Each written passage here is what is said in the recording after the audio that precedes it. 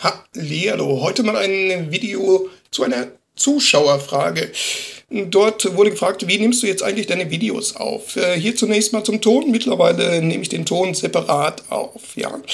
Eine Zeit lang habe ich den Ton von meiner Videokamera genommen, äh, separat, und äh, ins Video eingemischt mit der Bearbeitungssoftware PTV, ja, unter Ubuntu 12.04 LTS, was ich auch immer noch benutze, zum Videoschneiden.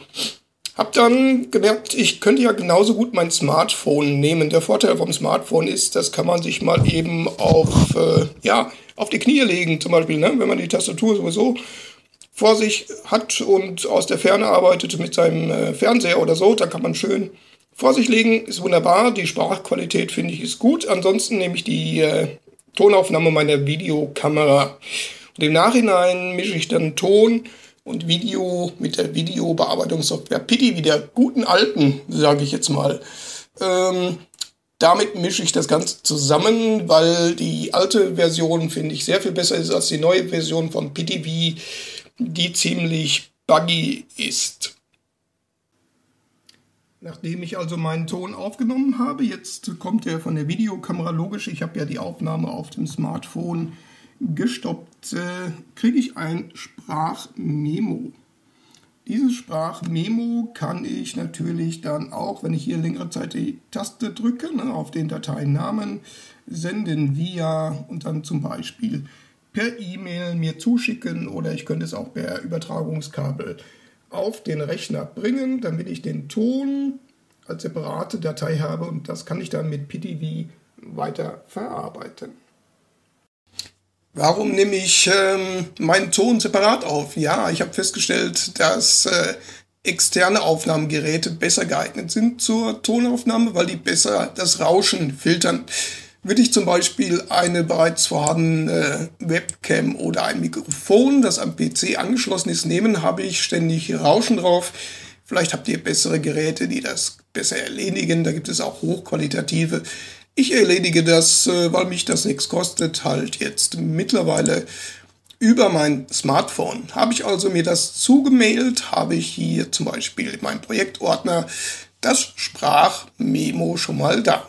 Gut, wie kommt das Videobild hierher? Ich nehme mein Videobild parallel auf, indem ich ins Terminal folgenden Spruch hineinkopiere und Enter drücke. Ich benutze das Programm Record My Desktop vom Terminal aus, um in mein Home-Verzeichnis Benutzername eine out.ogv-Datei erstellen zu lassen. Das ist das Videobild und wenn ihr wollt auch mit Ton, das habe ich hier auch mit drin. Ja. Hier ist auch Ton mit einem Kanal und der der Frequenz, wenn euch das reicht. Gut, ähm, was passiert, wenn ich mit der Aufnahme fertig bin? Also wenn ich hier Enter gedrückt habe, ne, da kommt Recording und irgendwann drücke ich dann, wenn ich fertig bin, Steuerung und C. Dann wird diese Out-OGV-Datei gerendert. Ihr müsst dann die Finger vom Terminal lassen, bis da 100% steht. Ihr habt dann also diese OGV-Datei mit dem Videobild und auch Ton, wenn ihr den wollt, und die separate Sprachmemo-Datei, die ihr euch zugemeldet habt oder per Kabel rübergespielt habt. Diese beiden Dateien, in dem Fall, so mache ich das, habe ich dann vorliegen. Und dann kommt PTV, die Videobearbeitung hier unter Ubuntu 12.04 LTS. Ich benutze gerne die ältere Version, die neuere Version, die in aktuellen Ubuntu-Versionen vorhanden ist, finde ich unbenutzbar momentan. So, hier kann ich also meine beiden Dateien, das Video, das auch Ton hat, und den separat importierten Ton ne, von meinem Smartphone, kann ich hier einfügen. Ich kann beides markieren, hinzufügen. Hinweis zu PTV, auch diese ältere Version ist nicht ganz bugfrei, falls das mal komplett abschmieren sollte. Könnt ihr mit dem Terminalbefehl kill all python ja, also natürlich Python mit Y geschrieben. Ich habe hier noch einen englischen Tastatur Python. Das gegebenenfalls komplett abwürgen, falls da im Hintergrund noch was hängt. Ja, wie gesagt, auch diese Version von PDV ist nicht ganz bugfrei. Da ich die aber schon seit Urzeiten benutze, kenne ich die Fehler. Einer der Fehler dieser Version ist, wenn man eine Videodatei hinzufügt und dann versucht, Ton und Audio zu trennen und dieses Symbol dafür benutzt. Da unten kennt ihr das, ne? also das mit den zwei Pfeilen. Dann stürzt es schon mal gerne ab. Stattdessen ziehe ich den Ton, ne? das ist die Videospur und das ist die Audiospur, die wir zusammen mit Record My Desktop aufgenommen haben. Stattdessen ziehe ich also die Lautstärke hier auf 0, anstatt Ton und Video zu trennen. Das ist jetzt der erste Teil. Nun haben wir immer noch unseren Sound. Gut, der Sound hat nicht dieselbe Länge wie das Video. Natürlich habe ich nicht zeitgleich das hinbekommen, ähm, das App auf meinem Smartphone zu starten, wie den Ton von Record My Desktop bzw. das Video aufzunehmen.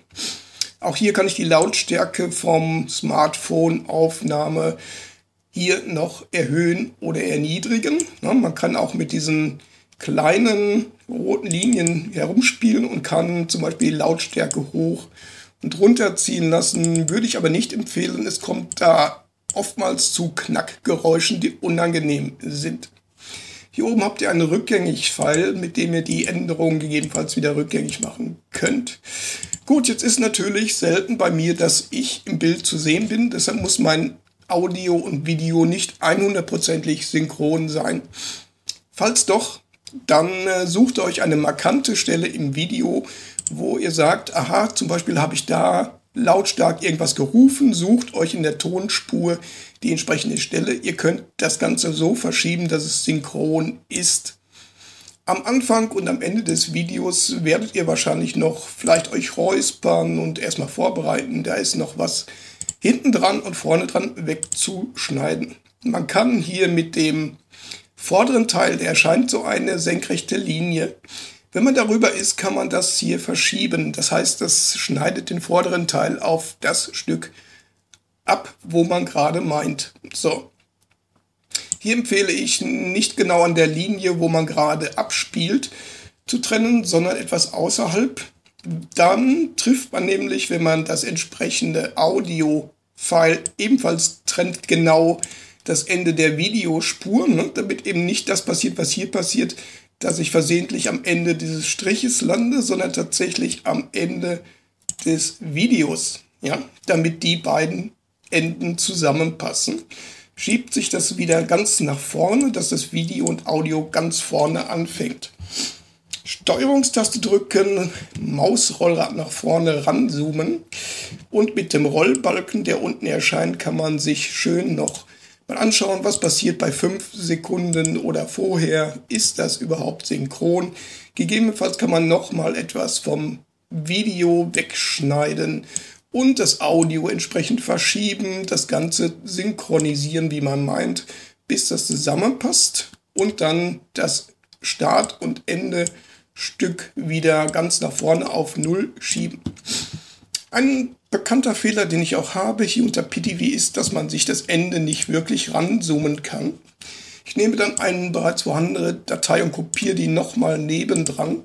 Dann ist man in der Lage, sich das Ende auch genau anzuschauen. Auch hier dann wieder Audio und Video entsprechend einzukürzen. Man kann sich das mit der Vorschau, mit Play immer wieder anschauen. Na, hier habe ich zum Beispiel schon mal eine Brille abgenommen, das gehört nicht mehr da rein.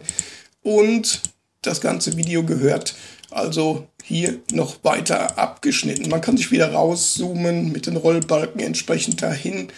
Die tatsächliche Ende, na, da nehme ich gerade meine Brille ab, da ist das zu Ende und hier habe ich noch gesprochen. Ich würde jetzt hören, passt der Ton, wo sage ich Tschüss ne? und würde das Ende entsprechend trimmen würde aber immer, immer schauen, bevor ich Audio trimme, dass ich diesen senkrechten Strich erstmal woanders hinklicke, um tatsächlich das Ende des Videos zu erwischen und nicht das, den Strich, der nicht immer genau da ist, wo man meint. Ne? Zum Schluss kann ich dieses Sprachmemo, das überflüssig ist, hier rausnehmen. Das dient mir halt nur, um mich ans Ende heranzoomen zu können. Ne? Da ist dann das Ganze zu Ende. Dann das Ganze speichern mit erstellen kann man entsprechend die Einstellungen machen. Momentan nehme ich AVI. Ist auch nicht immer ganz perfekt. Manchmal habe ich so ein Gekrissel drin. Im Video sage ich genau passend zu meiner Record My Desktop Einstellung 15 Frames per Second. Ne? Frames per Second 15. Codec X24 in Codec nehme ich momentan und lahme MP3. Wenn bei euch nicht vorhanden lahme MP3, Ubuntu die entsprechenden Restricted Extras gegebenenfalls noch installieren mit sudo apt get install ubuntu minus restricted minus extras. Dann habt ihr noch gewisse andere Codecs. Bei der Installation werdet ihr noch gefragt, möchtet ihr irgendwelche Fonts installieren, dann müsst ihr gegebenenfalls mit Tab noch auf Ja und dann bestätigen. Hat man diese Audio- und Video-Codecs installiert, dann kann man es auch in diversen Formaten speichern. Wie gesagt, man kann ranzoomen, rauszoomen. Man kann natürlich auch einen Teil, der einen stört, herausschneiden. Dafür gibt es die kleine Schere. Seht ihr die hier unten links in der Ecke, die Schere. Man muss dabei immer achten, wo ist man gerade. Ist, schneidet der komplett das Video inklusive Ton über alle Spuren rückgängig? Oder bin ich jetzt nur auf der Videospur und schneide da, dann schneidet er halt nur die Videospur. Was ihr jetzt vielleicht nicht gehört habt, hoffentlich äh, an dieser Stelle des Videos habe ich furchtbar gehustet. Ähm, wenn ihr die Audiospur auch schneiden wollt, äh, schneiden. Und ihr könnt, wie gesagt, dann nehme ich diesen Strich immer weg, damit ich genau das Ende des Videos mit Audio übereinander kriege. Könnt ihr dann so zusammenfummeln und das Ganze wieder zusammendocken beim Zusammendocken darauf achten, dass sich das nicht überschneidet, es sei denn, es wäre denn so gewollt, äh, was ich mal hier mit RAM-Zoomen zeigen will. Hier gibt es eine Überschneidung, da bin ich äh, überlappt. Ja. Wenn gewollt, schön. Aber beim Zusammenschieben gegebenenfalls ranzoomen, um zu gucken, ob die Enden wirklich bündig sind. Das Ganze gegebenenfalls dann nochmal mit Play abspielen. Und Speicher nicht vergessen, erstellen, rendern, das Rendern, Ergebnis, das fertige Video hier, in dem Fall AVI, nochmal überprüfen. Am besten eine ganze Länge, um gegebenenfalls, äh, wie gerade schon wieder passiert, Huster rauszuschneiden und nicht äh, etwas zu vergessen. Wie gesagt, das Endergebnis nochmal überprüfen ist zwar lästig, dass man sich dann zum Beispiel nochmal neun Minuten alles anschauen kann ist aber durchaus äh, sinnvoll, um Fehler zu entdecken. Ich mache das meistens dann, wenn ich das fertige Video bei YouTube hochlade. Dann ist es ja noch nicht öffentlich und ich kann dann in der Zwischenzeit die erstellte AVI-Datei nochmal separat auf einem anderen PC hören. Das Downloaden oder Uploaden beziehungsweise dauert ja eine gewisse Zeit. Was man ja auch schön sieht in der Audiospur, das war jetzt nicht genau der Start, den ich haben wollte. Ne? Man sieht, hier sage ich nichts. Da habe ich mich aufs Video vorbereitet, gegebenenfalls geräuspert. Und hier geht es mit Hallihallo weiter.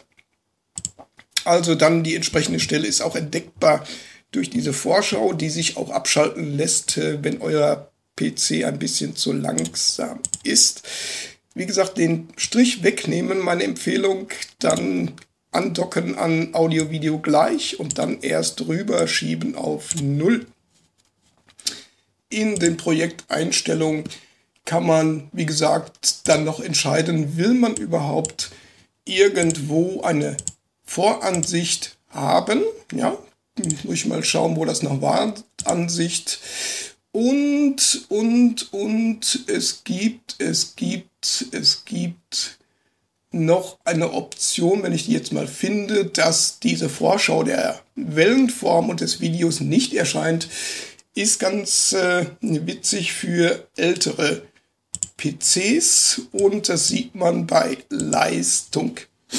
Audio-Wellenform aktivieren. Jetzt sieht man kein Audio mehr. Ja, also er muss also nicht diese Grafik aufbauen und Videobilder anzeigen. Kann man auch abschalten. Ich hoffe, ihr mitgeholfen zu haben. Ich huste gleich wieder, deshalb muss das Video hier enden. Schneide das raus, verbleibe mit freundlichen Grüßen und tschüss. Steuerung C drücke ich jetzt in meinem Terminal.